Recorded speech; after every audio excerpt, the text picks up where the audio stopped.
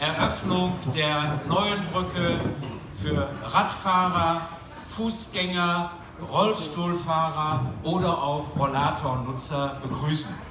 Sie ist, wie ich finde, eine großartige Ingenieurs- und Handwerksleistung und ein echter Hingucker.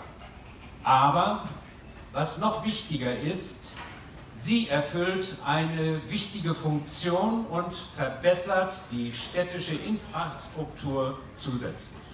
Ich möchte, meine Damen und Herren, ein paar kurze Worte vor der Einweihung sagen.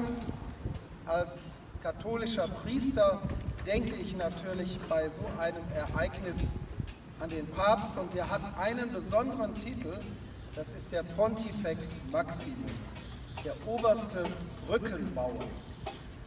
Das heißt, das ist ein ganz wichtiges Anliegen bei diesem Amt, Brückenbauer zu sein in den verschiedensten Bereichen des kirchlichen Lebens.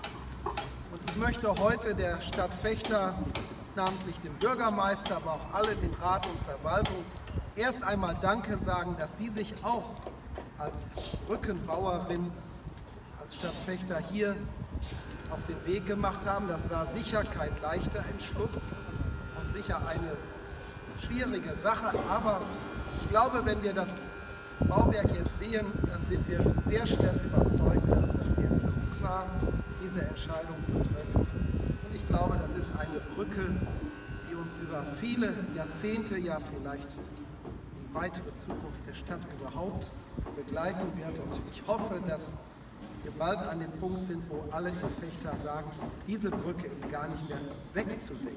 Gott sei Dank,